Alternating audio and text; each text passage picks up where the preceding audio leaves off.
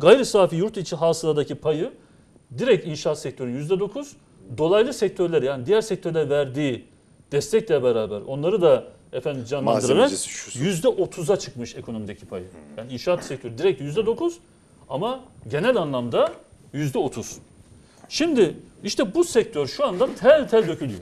İflas anlaşması Concordato imzalayan firma sayımız, şirket sayımız 3000. Concordato i- i- ilan eden şirketlerin %75'i inşaat sektöründe. %75'i inşaat sektöründe. 2000 küsür yani. Lokomotif olan sektörün şu anda e, ciddi bir manada çöküş yaşadığını görüyoruz. Bu da tabii büyümeye, birçok şeylere, e, istihdama vesaire yansıyacak bu önümüzdeki günlerde daha net bunları göreceğiz. Şimdi tabii bir tablo bu. Bakın inşaat sektörüne örnek verdik, asgari ücret örnek verdik. Tablo bu. Vatandaş, reel sektör, ayakkabıcısı, enerji şirketleri, şunlar, bunlar, turizm vesaire hepsi şu anda bakın turizm çok fazla turist gelmesine rağmen şu an bankaları borçtan ödeyemiyorlar. Turizm şirketleri de öyle. Yani batak krediler şu an artmış durumda turizmde. Bu da ilginç. Yani demek ki burada ciddi bir kriz var. Peki çözüm var mı? Türkiye bu girdaptan çıkabilir mi?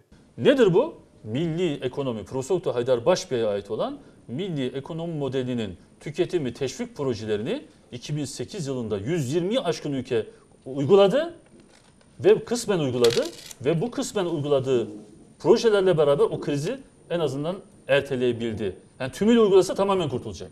Ama erteleyebildi. Ama BRICS devletleri ise 2008 yılından itibaren daha da yoğun bir şekilde milli ekonomi modelini uygulamaya başladılar. 2013 yılında Profesör Doktor Haydar Başbey Duma'ya çağırdı Rusya. Çin 5 Mart 2013 tarihinden itibaren milli ekonomi modelini efendim bizzat devlet e, politikası olarak ele aldı. Tüketim odaklı bir model olarak bunu uygulamaya başladı ve ne oldu? Onlar krizi fırsata çevirdiler. Şimdi bizler de şu anda bir hastalığımız var. Bu hastalığın tedavisi şu anda gelir adaletidir. İnsanların yani gelirin tabana yayılmasıdır. Vatandaşın milli gelirden istifade etmesidir. Bu paylaşımın adil yapılmasıdır.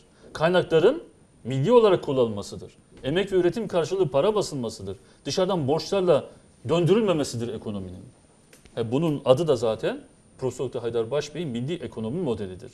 Bizler bu modelden istifade edeceğimize, bu modelin yani Rusya gibi, BRICS gibi modelin sahibine danışarak, kodlarını sorarak biz bunu efendim uygulayacağımıza modelin sahibi, modeli efendim ismini sadece alıyoruz. Modelin sahibinin üstünü örtmeye çalışıyoruz, gizlemeye çalışıyoruz. Efendim bir şekilde Profesör Doktor Haydar Başbey ile uğraşan, modelle uğraşanları efendim görmezden geliyoruz. Yani e, sadece üstünü örtmüyoruz. Aynı zamanda uğraşıyoruz. Uğraşıyoruz evet. Uğraşanlara da müsaade ediyoruz daha doğrusu. Ne oluyor bu sefer? Ne oluyor? Ya bu şekilde bizim yani hasta şifa bulacağı doktoruna sırt dönerek iyileşebilir mi? İyileşemez. Hastalığını reddederek iyileşebilir mi? İyileşemez. Çözümden kaçarak iyileşebilir mi? İyileşemez. E, Dolayısıyla maalesef biz bunların hepsini yapıyoruz şu anda. Peki nasıl iyileşeceğiz? Nasıl bu krizden kurtulacağız? Ya Birisi gelir, McKinsey gider, başka birisi gelir. IMF gider, başkası gelir. Ama bizler yine borç aldığımız iradelerden, bizi mahkum etmeye çalışan iradelerden borç aramaya devam ederiz. Onlar da bizden efendim farklı şekillerde taviz taleplerinde bulunmaya devam ederler. Ve bizler üzerinde BOP hesapları var. Bizler üzerinde arz-ı mevut hesapları var.